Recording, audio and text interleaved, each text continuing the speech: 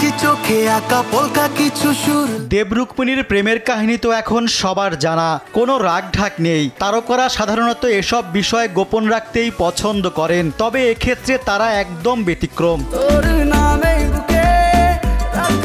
প্রথম দিকে মা বাবার কাছে প্রেমের সম্পর্ক প্রকাশ করেননি রুক্মিণী। ডুবে ডুবে জল খাচ্ছিলেন। কিন্তু যখন ফাঁস হয়ে যায় তখন বাড়িতে হুলস্থুল কাণ্ড ঘটে। নিজেই সেদিনের ঘটনার কথা জানিয়েছেন এ নায়িকা। সম্প্রতি এক সাক্ষাৎকারে দেবের সঙ্গে প্রেম নিয়ে মনের আগল খুলেছেন রুক্মিণী। সেখানে সঞ্চালকের প্রশ্নে তিনি জানান যে, সম্পর্কের খবর প্রকাশ্যে আসার পর মায়ের হাতে চর খেতে হয়েছে। এ নিয়ে কটাক্ষ করা হয়। একটা নিউজ পেপারের ফ্রন্ট পেজে হিউজ করে একদিন বেরিয়ে যায়।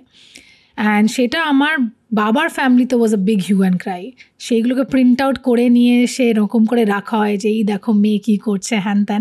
That day my mother was very dis disappointed in me মানে আমার মা আমাকে আমার মনে সেদিনকে আমাকে থাপ্পড় মেরেছিল। আমার মা আমার পুরো ফ্যামিলির সামনে, যেটা আমার মা কোনোদিনও করেনি।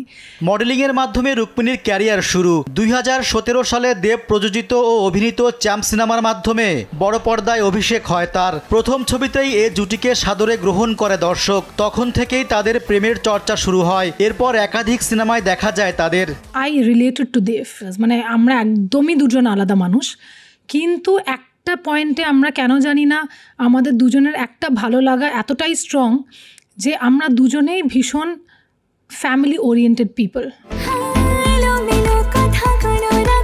এখন অনুরাগীদের প্রশ্ন কবে সাত পাকে বাধা পড়বেন? দেব রুক্মিণী তবে আপাতত বিয়ের পরিকল্পনা নেই তাদের। এভাবেই দিব্যি ভালো আছেন তারা। তাই প্রেমটাকেই উপভোগ করতে চান আরও কয়েক বছর। রেজওয়ান সিদ্দিকি দেশ টিভি।